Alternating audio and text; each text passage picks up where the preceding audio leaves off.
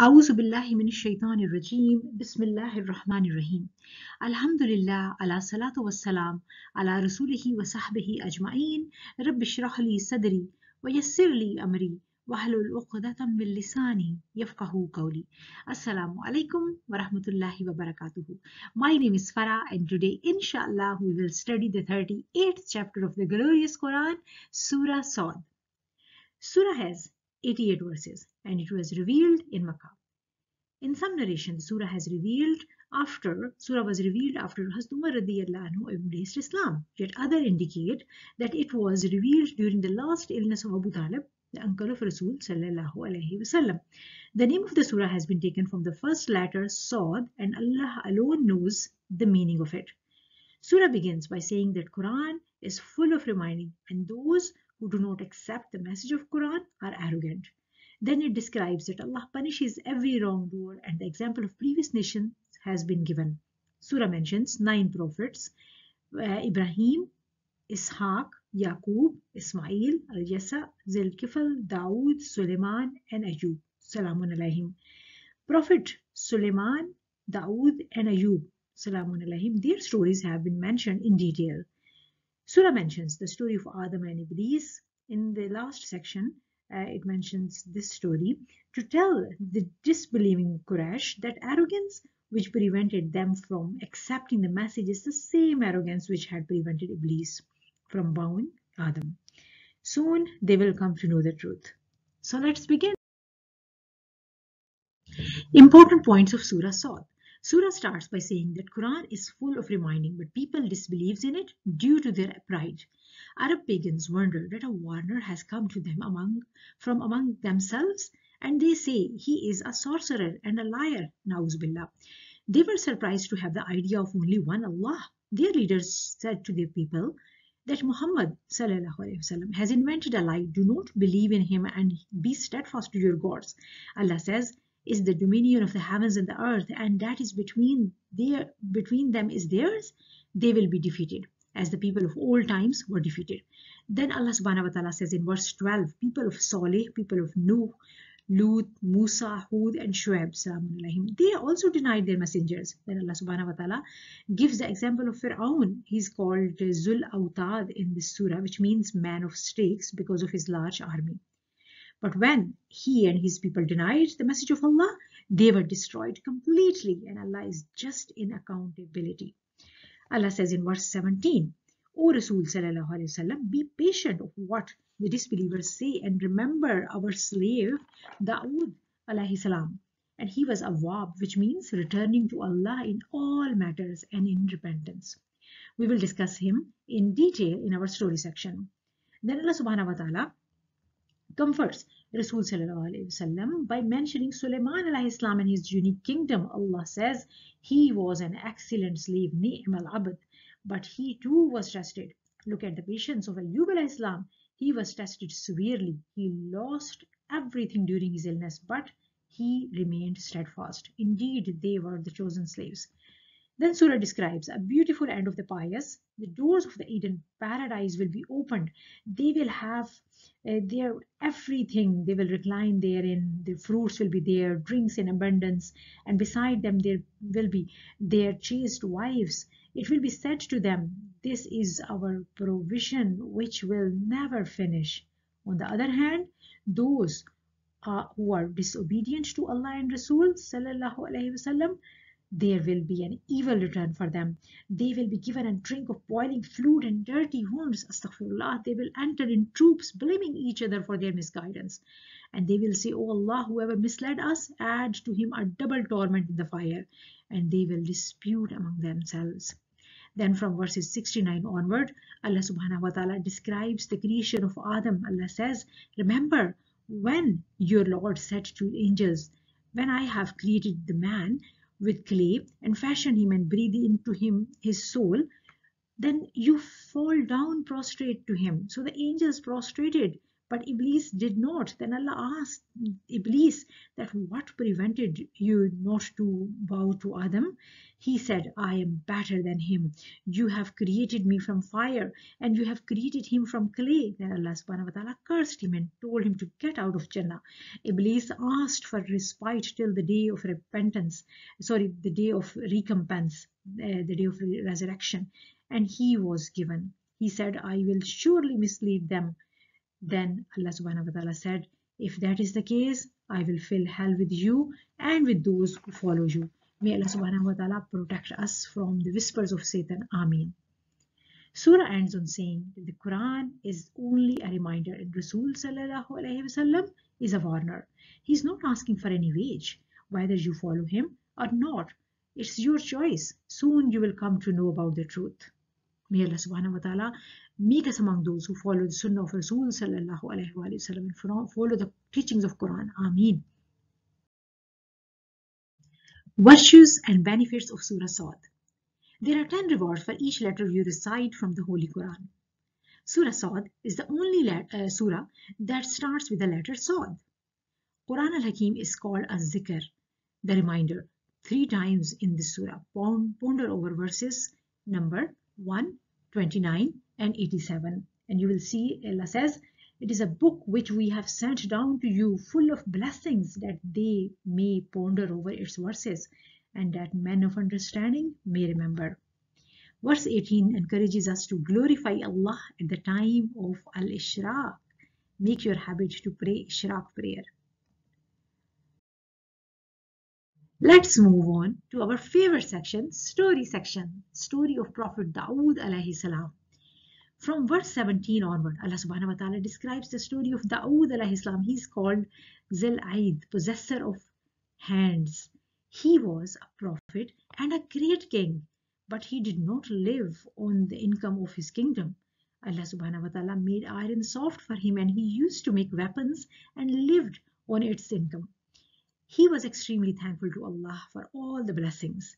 Allah subhanahu wa ta'ala blessed him with beautiful voice and when he used to recite Zabur, which was the book given to him, mountains joined him and the birds rallied around him.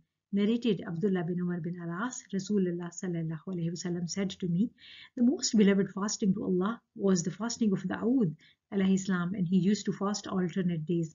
And the most beloved prayer to Allah was the prayer of Dawood alayhi salam. He used to sleep the first half, then pray for one third and then sleep.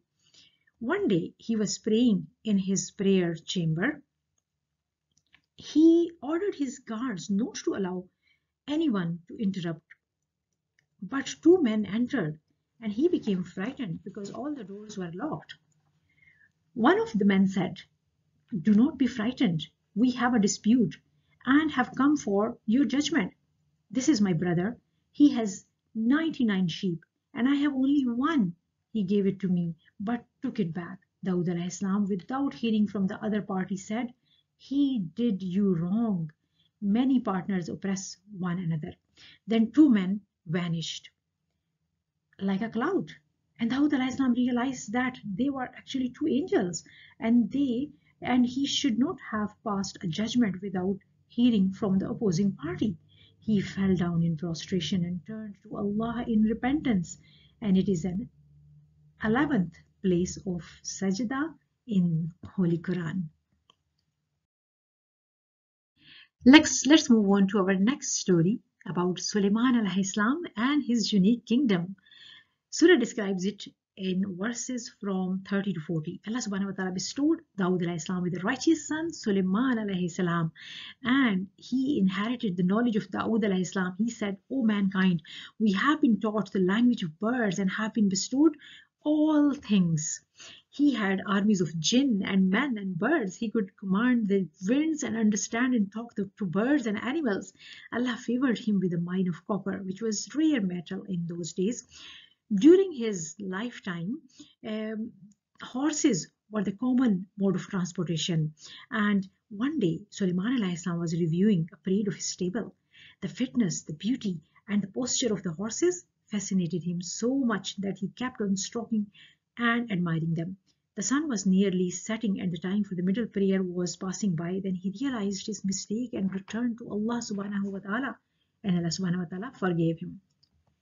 Surah also mentions that Allah subhanahu wa ta'ala tested him with an evil body on his throne. It is narrated that one, once he was away in an expedition and in his absence an evil devil ruled his kingdom and started making evil decisions. Soon people realized that he is not Suleiman.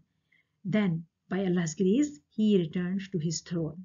He made dua, O Allah subhanahu wa ta'ala, forgive me and bestow upon me a kingdom such as shall not belong to any other after me, and you are the bestower. Allah subhanahu wa ta'ala said, This is our gift. So spend or withhold.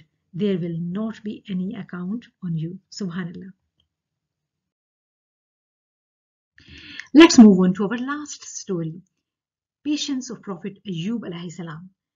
Verse 41 onward, Allah subhanahu wa ta'ala describes the story of Ayub alayhi salam. Allah subhanahu wa ta'ala blessed him with a long life and plenty of servants, wealth, children, everything. He used to make those who receive his charity feel as if they are favoring him. Iblis became annoyed and he tried to distract Ayub from his prayer, but he was unsuccessful. Then he, by Allah's izn, destroyed his wealth, his cattle, his family to prove Allah that now he will not worship you. Then Iblis whispered to Ayub Islam saying that you have lost everything. Surely Allah is not rewarding you for all your prayers. Ayub Islam was true to his belief and he said that Allah gives sometimes and sometimes he takes and what Allah has taken away from me belonged to him and he prostrated to Allah subhanahu wa ta'ala. Iblis was extremely frustrated and he said to Allah he is still healthy. And if the good health is not there, he will surely reject you. Ayub al was tested with severe illness until he was reduced to mere skin and bone. Never a single organ was sound except his heart and tongue, with both of which he glorified Allah all the time. Subhanallah. All his friends kept away from visiting him. His wife took good care of him.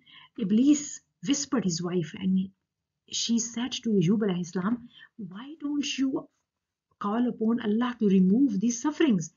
Eh, Ayub Islam said, we had a good life for 80 years and we only are suffering from last seven years. Iblis has made you dissatisfied and if I ever regain my health, I will punish you with a hundred stroke. Ayub Islam turned to Allah and said, Satan has touched me with distress. Allah said, Strike the ground with your foot. This is a spring of water to wash in and a refreshing drink. Ayub al obeyed and immediately his good health was restored. He was worried about his oath, uh, you know, about uh, beating uh, his wife, but Allah subhanahu wa ta'ala made it easy for him. Allah subhanahu wa ta'ala said, Take in your hand a bundle of thin grass and strike your wife once with it and do not break your oath. Allah praised him by saying, we found him patient. How excellent a slave and was ever returning to us. Subhanallah. Let's move on to action points and let's see what Surah has taught us. Number one, we must turn to the Quran al-Hakim for guidance. Number two, remember there is only one God, Allah. So ask Allah alone for everything, no matter how small or how insignificant you think something is. Ask Allah alone. Number three, learn from the destruction of previous nations. Number four, be patient in the most difficult circumstances. Number five, repent and return to Allah. And remember, this life is a test. You will be tested. I will be tested. We all will be tested. May Allah subhanahu wa ta'ala make us among those who pass their test. Ameen. Worship Allah in all circumstances and don't let worldly goods distract you. And lastly, do not be arrogant and accept the truth with humility because arrogance is a characteristic of Satan. Now we are on the last section of our study of Surah Sad, which is du'as. There is not any direct dua mentioned apart from Prophet Sulaiman al-Islam's dua, where he said to Allah Azza wa Jal, My Lord, Forgive me and grant me a kingdom such as will not belong to anyone after me. Indeed, you are the bestower. But while I was, I was studying, I found a very beautiful dua in Jamia Tirmidhi, which I thought I will share with you. And it is narrated uh, reported, Abu Darda reported that Rasulullah alaihi said that one of the prophets Dawood alayhi salam dua was, O Allah, I ask you for your love, the love of those who love you, and deeds which will cause to me attain your love. O Allah, make your love dearer to me than myself, my family, and the cold water. Ameen. Try to memorize it. If not, then at least remember the first part where it says, Allahumma inni asaluka hubbaka wa hubba man yuhibbuka. Ameen. With this, we conclude our study of Surah Sad.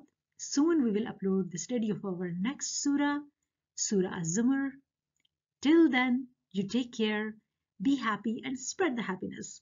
بارك الله لي ولكم في القرآن الحكيم ونفعني وإياكم بالآيات والذكر الحكيم السلام عليكم ورحمة الله وبركاته